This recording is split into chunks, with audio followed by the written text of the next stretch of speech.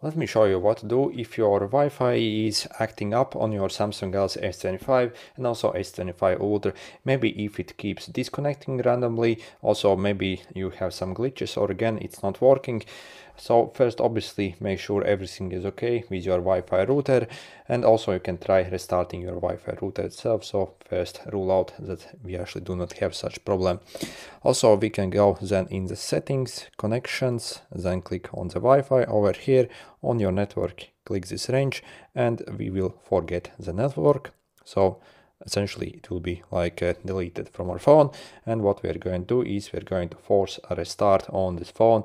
So simply click the like power button and the volume down at the same time and keep holding it for roughly 10 seconds maybe. So uh, ignore whatever it says and keep holding till it shuts off and then we can release and it will take up to one minute to actually boot up. So in this uh, time essentially the phone will attempt to like uh, see what's actually if anything is wrong with it and also attempt to heal, heal itself. And once restarted again we can go on our network and enter the password once more and connect it uh, once more. The next we can go in the general management over here click reset and click reset Wi-Fi and Bluetooth settings. So again, this again will reset your uh, Wi-Fi like uh, like modem essentially in your phone. Again try to connect again once more to that like network and see if that helps. And next we can also enable safe mode for our wi-fi as well.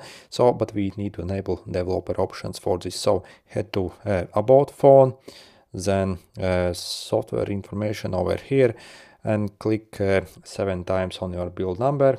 So keep clicking. As you see I can enable my developer mode over here.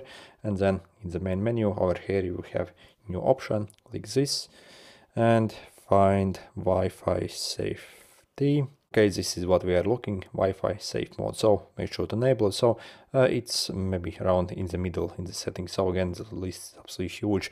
And again this uh, can uh, like turn on your Wi-Fi network uh, basically adapter inside your phone in safe mode that will like prioritize connection stability over like uh, maybe the highest speeds. So again this might also uh, help it. Also by the way one last thing. Also uh, sometimes basically once if you have like mobile data running at the same time as your Wi-Fi also this might cause some problems but uh, usually it's not problematic but again if all else fails again make sure to disconnect your mobile data while you actually use your Wi-Fi as well and see if that does anything. Anyway, good luck.